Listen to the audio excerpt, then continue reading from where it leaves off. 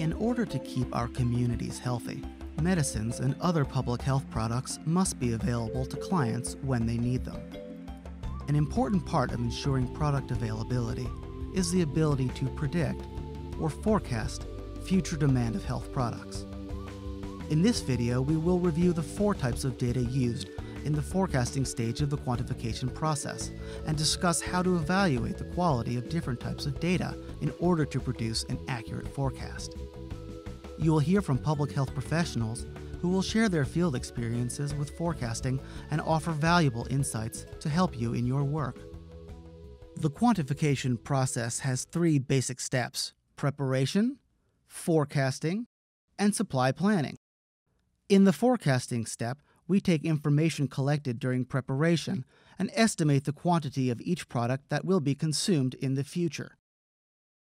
Let's find out why forecasting is so important in your work. Our purpose is to ensure that people get the right products in the right quantities and that they're delivered at the right time for the right in the right condition and for the right cost.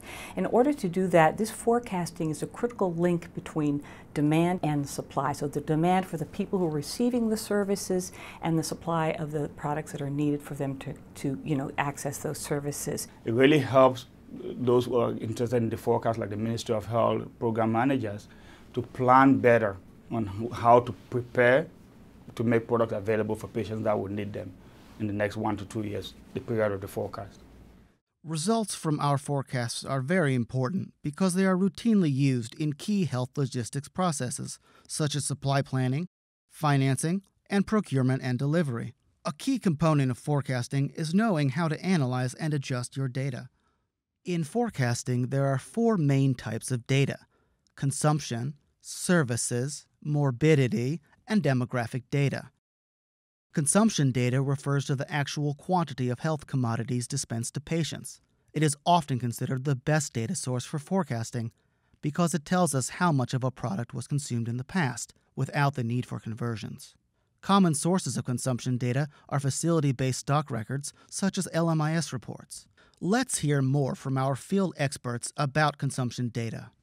Consumption data is the best reflection of what you have actually used, what the reality is on the ground.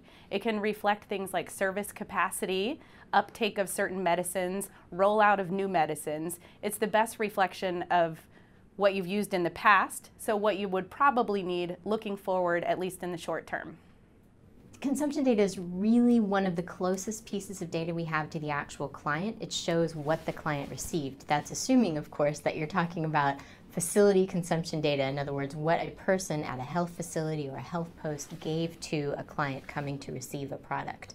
Issues data can also be used to approximate consumption when consumption data is not available. But what do you do if you only have central level issues data? You work with what you have. If all you have is central level issues data, then that's what you use. You'll never only be limited to one kind of data. We might consider things very strict in terms of consumption data, issues data, services data. You can conduct interviews with key stakeholders. You can go out on facility visits to get a sample to see if they could be used as sentinel sites from which you could extrapolate national consumption or other interviews with, with program managers and planners. Service data reports the number of discrete services provided. For example, the number of people treated or the number of rapid tests conducted. If necessary, service data can be converted to estimate future consumption. Common sources are HMIS reports, facility registers, and program M&E reports. Morbidity data estimates the prevalence or incidence of different medical conditions in the population at large at any given time. For example, 15% HIV prevalence in a population. This data helps us to estimate demand for the specific health products related to those conditions. Demographic data estimates population trends such as age, gender, or occupation. For example, demographic data can tell us what percentage of the population are women of reproductive age. This data can then be used to estimate population specific needs, such as demand for family planning products. Demographic and morbidity data are found in population level surveys, such as the Demographic Health Survey, otherwise known as the DHS. Let's find out more about using DHS data. Demographic health survey collect data at a specific uh, point of time and they are population based. So it can give you a good snapshot, a good picture of what is going on. However, DHS data cannot provide information related to program development, to service strengthening, to many other areas that you need to know before uh, anticipating the right quantity needed. I use a DHS in every forecast I ever do, even if it doesn't actually result in producing the numbers that we will use for procurement. It's good for a reality check to compare against other data sources, and oftentimes it gives you the upper bounds of what your forecast would be. One of the cons is that the DHS is only done maybe every five years. In some countries, it might only have been done once. And so the data can be really old, and you never know what changes might have occurred between DHSs um, until you have an updated DHS. Remember, the more data sources we use when forecasting, the better chance you have of developing a more accurate forecast. However, not all data is equally valuable in the forecasting process. So, how do you make intelligent decisions about which data to use and which to throw out? Well, this is where the true art of forecasting comes in. Let's look at some key factors for determining whether the quality of your data is good enough for the data to be used in a forecast. We'll start with data quantity. First, you need to make sure you have enough data from each source to accurately represent the true need for a given product. For example, Consumption and services data rely on healthcare facilities to report their data, and low reporting rates can give an inaccurate picture of true demand. Let's find out more about the importance of knowing the percentage of facilities reporting and other factors to consider. Even better than knowing the percent of facilities reporting is knowing the percent of total consumption that reporting facilities represent. Let's say you only have 30% of your facilities reporting. But you're in a country like Liberia where those 30% of facilities are concentrated in the urban population center where the capital city is.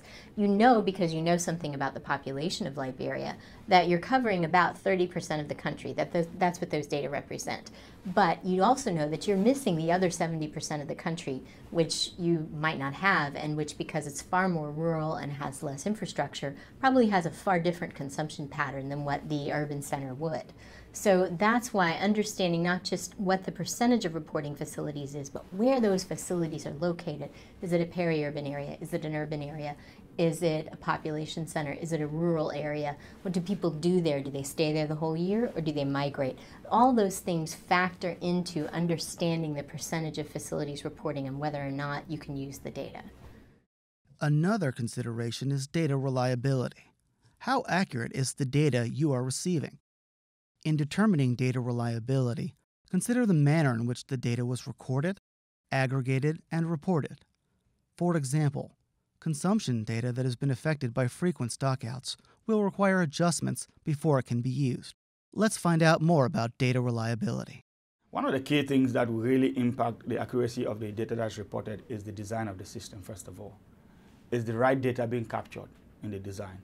Was it designed to capture the right data? That's first. The second thing is that uh, does the, the, the um, staff in that facility who is supposed to report this data, are they trained? Do they know how to capture the data? Do they know how to report it? There are also sometimes questions about staff um, uh, motivation and interest. Um, they may not understand how the data is being used, why it's important, and how it might actually help them do their job better. If the report is too complicated in terms of calculations or just too much data to fill, every piece of data is a chance for a mistake.